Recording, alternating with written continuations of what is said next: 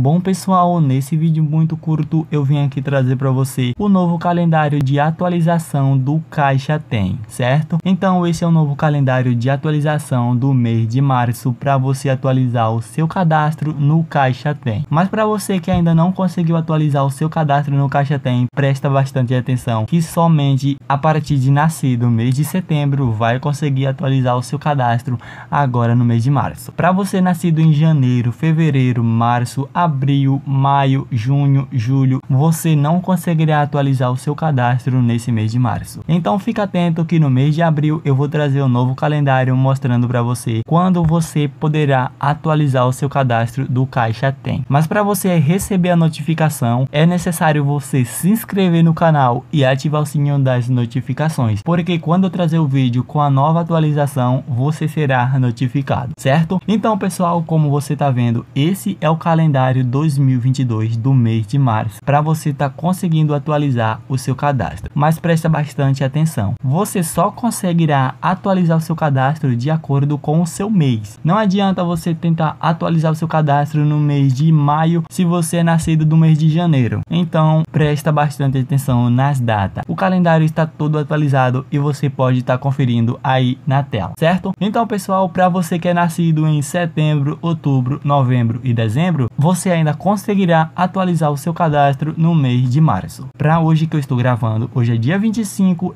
então confira aí no calendário e você conseguirá, certo? Então pessoal, o vídeo é esse, é muito simples para estar tá tentando ajudar vocês, tranquilo? Então é isso pessoal, tamo junto, até o próximo vídeo, é nóis e fui!